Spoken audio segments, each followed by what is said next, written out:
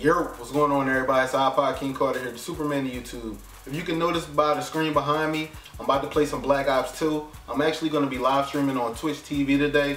Now I know you guys probably wondering, hey iPod, why you live streaming on Twitch TV?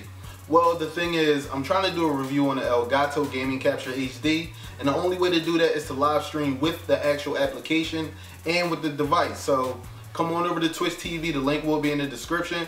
Or you could just click on me and it'll take you over to the video. But I hope you guys is locked and loaded. You know what I'm saying? I'm ready to play some Black Ops 2. you already know I'm ready. I'm going to holla at you in a second.